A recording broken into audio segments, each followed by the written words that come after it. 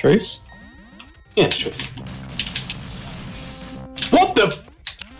What happened? Nah, Jack's literally gonna win. Nope. Not me.